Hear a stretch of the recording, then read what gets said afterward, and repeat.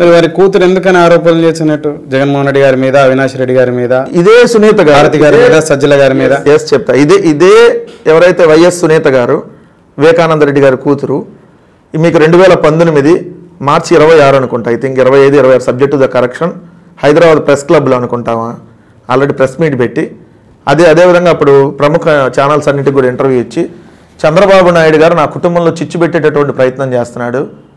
నా అన్న జగన్మోహన్ రెడ్డి గారు అటువంటిది ఎందుకు చేస్తాడు? నా మా నా కుటుంబంలో ఎవరూ కూడా అటువంటివి చేయరు. నా కుటుంబ సభ్యుల మీద దయచేసి అటువంటివి చేయొద్దు ఆరోపణలు చేయొద్దు.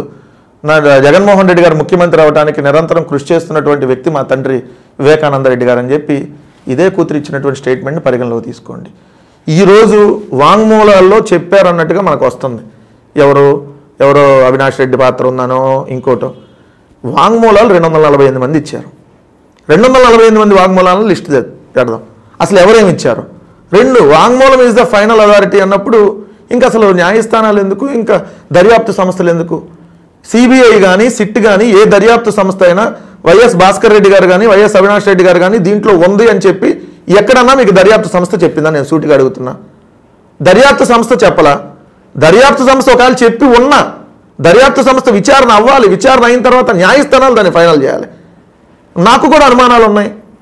వైఎస్ వివేకానంద రెడ్డి గారి ఎవరైతే అల్లుడైనటువంటి మర్రెడ్డి రాజశేఖర్ రెడ్డి గారికి లేదంటే బీటెక్ రవి అదేవిధంగా అయితే ఇప్పుడు బీజేపీలో ఉన్నటువంటి జమ్మలమడుగు ఆదినారాయణ రెడ్డి వీళ్ళందరి హస్తం ఉంది. దీని వెనకాల చంద్రబాబు నాయుడు గారి కుట్రపూరితంగా ఎన్నికలప్పుడు చేయించాడు అనేది నాకు కూడా బలమైనటువంటి అనుమానం ఉంది. దీని మీద కూడా విచారం జరగాలి. జగన్మోహన్ రెడ్డి గారు ఆ రోజు ప్రచారం సందర్భంగా పెద్ద ఎత్తున ఈ అంశాన్ని మీరు అన్నది ప్రస్తావించడం జరిగింది.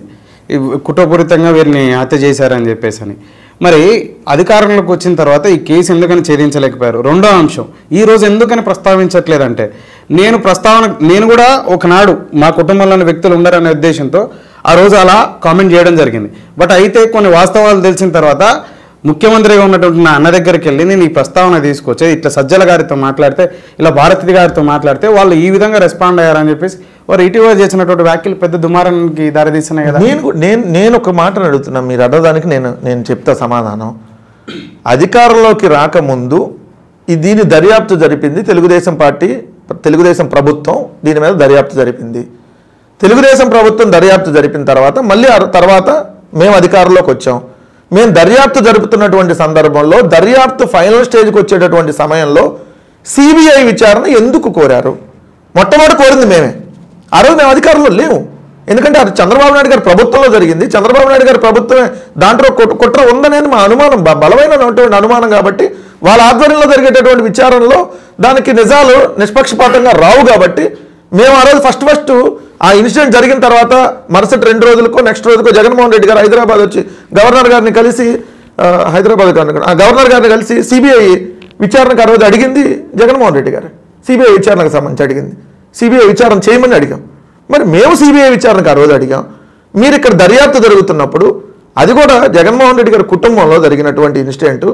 ఆయన ముఖ్యమంత్రిగా ఉన్నారు కాబట్టి ఇక్కడ దర్యాప్తు అనేది వేగవంతంగా జరుగుతున్నటువంటి తరుణంలో సిబిఐ విచారణ ఎందుకు అడిగారు? ఒక పాయింట్.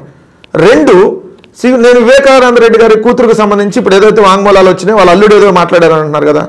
సార్ కుట్రపూరితంగా లేదంటే ఇంకో రకంగా వ్యవహరించేటటువంటి వ్యక్తులు ఎవరు మెంటాలిటీ ఎవరు ఈ రాష్ట్రంలో అందరికీ తెలుసు. నేను కొత్తగా చెప్పాల్సినటువంటి పని లేదు. మీరు ఎవరో చెప్పినటువంటి విధంగా ఎందుకు వెళ్తున్నారు? మిమ్మల్ని ఒక పర్టికులర్ సెక్షన్ ఆఫ్ మీడియా మిమ్మల్ని ప్రోలా ప్రో చేస్తూ ఉంది. దాని ప్రకారం మీరు వెళ్తూ ఉన్నారు. మీరు కానీ మీ పార్టీలో ముఖ్య నాయకులంతా సజ్జల గారి యాక్చువల్గా జగన్మోహన్ రెడ్డి గారి తర్వాత ముఖ్యంగా పార్టీని ముందుకు తీసుకెళ్తున్నట్టు సజ్జల గారి దాకా. ఏది జరిగినా చంద్రబాబు నాయుడు కనీసం అంటే మీకు హత్య జరిగింది ఎవరి హయాంలో? నరసింహ నేను ఒక మాట చెప్తా. ఇది ఒక్క నిమిషం అన్న ఒక్క నిమిషం. మీ ఊరిలో నువ్వు సర్పంచ్గా ఉన్నప్పుడు ఒక హత్య జరిగింది. అక్కడే ఉంది అక్కడే. సజ్జల గారు ప్రెస్ మీట్ ఇవ్వ- పెడతా ఉండి కుటుంబాన్ని అడ్డం పెట్టుకొని రాజకీయాల్లో సిక్కండి రాజకీయాలు చేసేటువంటి వ్యక్తి చంద్రబాబు నాయుడు. నాడు ఎన్టీఆర్ ఫ్యామిలీ కుటుంబాన్ని పెట్టుకున్నాడు నేను వైఎస్ఆర్ కుటుంబం అంటే వాళ్ళకు డిఫెన్స్ వచ్చినప్పుడల్లా తను అంటే వైఎస్ఆర్సీపీ ఫ్యామిలీ వైఎస్ఆర్ ఇప్పుడు వైఎస్ఆర్ ఫ్యామిలీ కూడా తెలుగు ఇప్పుడు చంద్రబాబు నాయుడు గారి కోసం పనిచేస్తుంది. సిబిఐ చంద్రబాబు నాయుడు గారి కోసం పనిచేస్తుంది.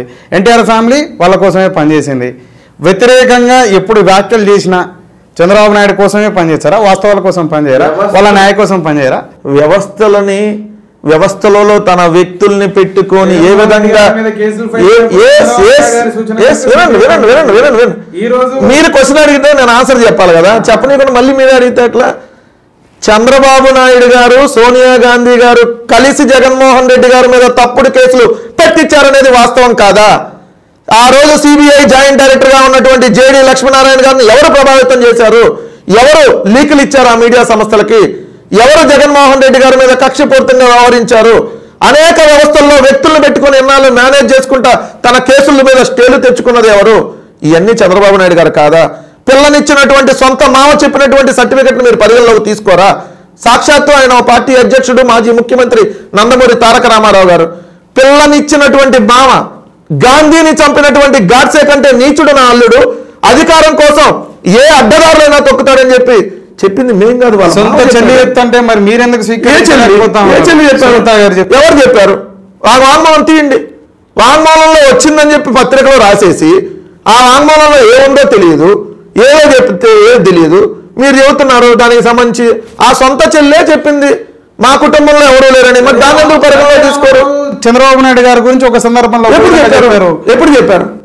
ఎప్పుడు చెప్పారు? చెప్పండి. తనని ఇంకొక పార్టీ నుంచి తీసుకునేటప్పుడు ఒక విధంగా చెప్పాడు. తన కారణం చేత ఆ రోజు- పోటీ చేస్తానని బేరాలు బలికి వచ్చాడని చెప్పి చెప్పారు. మీరు చంద్రబాబు నాయుడుకి సర్టిఫికేట్ ఇవ్వాల్సి మళ్ళీ చంద్రబాబు నాయుడు సర్టిఫికేట్ అట్టాంటిదో ఈ రాష్ట్ర రామారావు గారి కుటుంబం, రామారావు గారి చంద్రబాబు నాయుడు గారి అండగా నిలబడి మాట్లాడినటువంటి మాటలన్నీ ఇదే హరికృష్ణ గారు మాట్లాడింది కూడా నేను వీడియో మీకు వినిపిస్తా.